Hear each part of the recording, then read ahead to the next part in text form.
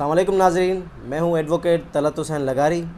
आज हमारे साथ मौजूद हैं मुल्क के नामवर वकील mister doctor professor Roshan Ali Azeem Malla, जो कि सीमा हैदर केस के सिलसिले में ग़ुलाम हैदर साहब के वकील हैं और इस केस को रिप्रेजेंट कर रहे हैं। वालेकुम सर, उम्मीद करता हूँ आप ठीक होंगे। कैसी है आपकी तबीयत? वालेकुम सलाम, तलत हुसैन। मैं बिल्कुल ठीक हूँ और उम्मीद करता हूँ कि तमाम पाकिस्तानी और तमाम हिंदुस्तानी भी ठीक होंगे। और उनके साथ आप भी खैरत से होंगे। सर, इस केस के हवाले से हमारे नाजरीन के कुछ सवाल हैं। जैसे कि ये कि वो पूछ रहे हैं, इस केस के हवाले से आपके पास ऐसे कौन से डॉक्यूमेंट्री प्रूफ हैं जिसको लेकर आप अदालत में पेश होंगे या प्रूफ करेंगे कि ये बच्चे या सीमा किस तरह से बीवी है उनकी या बच्चे किस तरह उनके प्रूफ करेंगे, किस ग़ुलाम हैदर के ही बच्चे हैं। और इस हवाले से आपका क्या कहना है?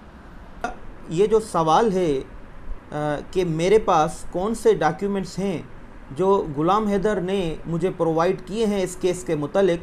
देखें, वो तमाम जितने भी डॉक्यूमेंट्री एविडेंस हैं, आज से पहले ग़ुलाम हैदर साहब इंडियन न्यूज़ चैनल्स को पब्लिक कर चुका है। वो तमाम डॉक्यूमेंट्स हिंदुस्तानी न्यूज़ चैनल्स पर आ चुके हैं ऑन ईयर हो चुके हैं। जो ये साबित करते हैं कि ग़ुलाम हैदर साहब के चार बच्चे हैं, सीमा हैदर उनकी बीवी है। अब मेरे पास कौन से वो डॉक्यूमेंट्स हैं जो ग़ुलाम हैदर ने अब तक प्रोवाइड किए हैं? मेरे पास वही डॉक्यूमेंट्स हैं जो ग़ुलाम हैदर आज से पहले पब्लिक कर चुके हैं। सबसे पहला डॉक्यूमेंट्स तो ग़ुलाम हैदर और सीमा हैदर का वो फ्री विल एफिडेविट है, जिसके तहत सीमा हैदर ने घर से भागकर ग़ुलाम हैदर साहब से एक लव मैरिज की कोर्ट मैरिज की वो फ्री विल एफिडेविट मेरे पास है, वो आपकी स्क्रीन पर अभी आ रहा होगा, एक मेरे पास ये डॉक्यूमेंट्स हैं। और उसके अलावा मेरे पास एफआरसी सर्टिफिकेट है, जिसमें ये साबित होता है कि ग़ुलाम हैदर साहब की सीमा बीवी है और उनके चार बच्चे हैं। उस एफआरसी सर्टिफिकेट में यही साबित होता है कि ये चार बच्चे ग़ुलाम हैदर साहब के औलाद हैं और सीमा हैदर उनकी बीवी है। एक के एफ़ आर सी सर्टिफिकेट ये भी आपकी स्क्रीन पर ज़रूर आ रहा होगा। इसके अलावा मेरे पास एक मिसिंग कंप्लेंट है, जिसमें गुलाम हैदर साहब के वालिद साहब ने मकामी पुलिस स्टेशन पर मिसिंग कंप्लेंट दर्ज की। वो मिसिंग कंप्लेंट है। उसके अलावा दीगर और डॉक्यूमेंट्स मेरे पास हैं, जो गुलाम हैदर ने मुझे प्रोवाइड किए हैं। उन तमाम सबूतों के अलावा कुछ और सबूत हैं जो मैं अब तक पब्लिक नहीं करना चाहता हूँ। उनके कुछ वजूहत है। वो मैं अपना डिफेंस जो है, वो पब्लिक नहीं करना चाहता हूँ। ये जितने भी डॉक्यूमेंट्स मैंने पब्लिक किए हैं, ये तमाम डॉक्यूमेंट्स आज से पहले गुलाम हैदर साहब इंडियन न्यूज़ चैनल्स पर दिखा चुके हैं और ये साबित करते हैं कि गुलाम हैदर साहब के चार बच्चे और सीमा हैदर बीवी इन कागजात की रोशनी में जायज़ जो हैं उनके बच्चे और वो बीवी है और अब तक गुलाम हैदर साहब की शादी ब्रेक नहीं हुई है क्योंकि न गुलाम हैदर साहब ने डायोस डीड साइन की है, न ही सीमा हैदर साहिबा ने कोई पाकिस्तान की अदालत में खुला का सूट फ़ाइल किया है। तो ये जो डॉक्यूमेंट्स है जो आपकी स्क्रीन पर आए, ये गुलाम हैदर साहब ने अब तक पब्लिक किए हैं। इनके अलावा और भी कुछ सबूत हैं जो गुलाम हैदर साहब ने मुझे दिए हैं, वो इस वक्त मैं पब्लिक नहीं करना चाहता हूँ क्योंकि वो आ, मेरे केस के अहम डॉक्यूमेंट्स हैं इसके लिए वो मैं अभी ज़ाहिर नहीं करना चाहता हूँ। जी। सबसे पहले तो मैं पाकिस्तान की अदालत को ही अप्रोच करूँगा जो कॉन्स्टिट्यूशन ऑफ़ पाकिस्तान कहता है जो पाकिस्तान का मकामी कानून कहता है मैं उस हवाले से पहले अप्रोच करूँगा।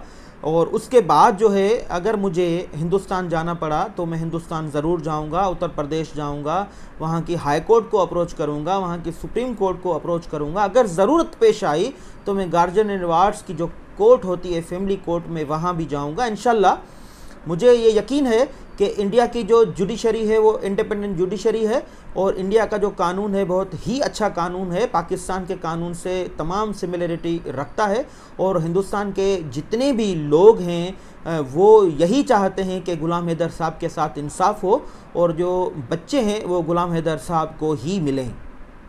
सर, इस केस को लेने के बाद हम ये आपसे सुनना चाहते हैं कि पाकिस्तानियों और हिंदुस्तानियों के इस केस को लेकर क्या रवैयात हैं? क्या हिंदुस्तानी आपका वेलकम कर रहे हैं इस केस के हवाले से? क्या वो चाहते हैं कि आप ये केस जो है उनके सामने आकर प्रोसीड करें? क्या रवैया है? क्या कहना है? उनका ये बताएँ। जी, बिल्कुल, हिंदुस्तानियों से बड़ा अच्छा रेस्पॉन्स मुझे मिल रहा है। तमाम हिंदुस्तानी मुझे सोशल साइट्स पर जो है मैसेज कर रहे हैं। जितने भी मेरे सोशल अकाउंट्स हैं, उस पर मैसेज कर रहे हैं, मुझे वेलकम कर रहे हैं। गुलाम हैदर साहब को भी वेलकम कर रहे हैं। वो कह रहे हैं कि आप हिंदुस्तान ज़रूर आएँ। बच्चे जो है, आप ज़रूर गुलाम हैदर साहब को जो कोशिश करें कि उनको मिल जा मिल जाएँ। अब से ही, अभी से ही हिंदुस्तान से जम्मू से कश्मीर से हम इंडिया की जो टेरिटरी है वहाँ से आ, मुझे और ग़ुलाम हैदर को वेलकम किया जा रहा है।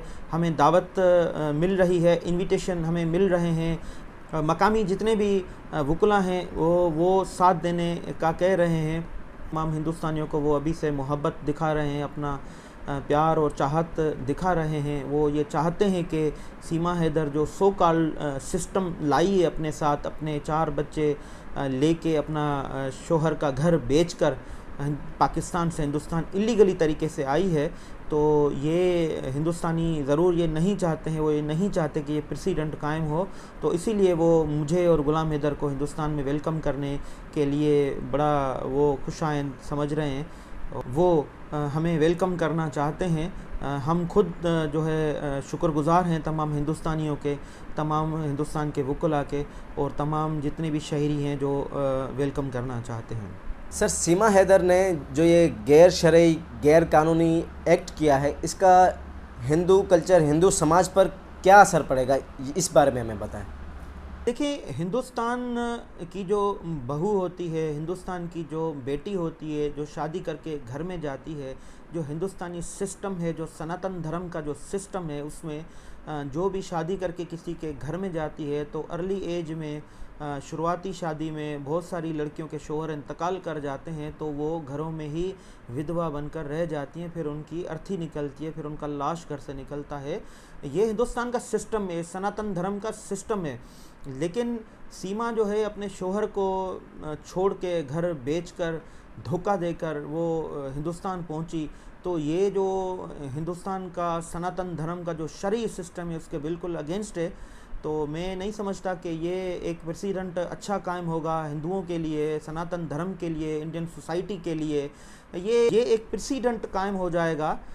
तो काफ़ी माशरे में सोसाइटी में जो लड़कियाँ होंगी, वो सीमा हैदर को अपना रोल मॉडल करके पेश करेंगी और अपना घर छोड़कर, अपने शोहर को छोड़कर और अपना जो है और लोगों के साथ भाग जाएँगी, अपने बच्चों को छोड़ देंगी तो इसलिए इस समाज में बर्बादी होगी और ये प्रेसिडेंट ख़राब कायम होगा। तो मैं ये भी गुजारिश करता हूँ इंडियन जो सरकार है मोदी सरकार है या योगी सरकार है कि ये एक ख़राब प्रेसिडेंट कायम होगा जो आपके रिलीजियस के बिल्कुल अगेंस्ट है।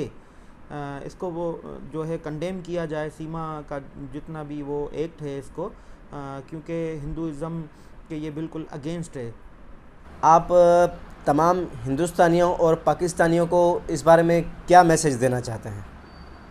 जी आप अपना ढेर सारा ख्याल रखिएगा। और अगर आपके सवाल होंगे तो मैं ज़रूर उनका जवाब दूँगा। अपना ढेर सारा ख्याल रखिएगा तमाम पाकिस्तानियों को, तमाम हिंदुस्तानियों को।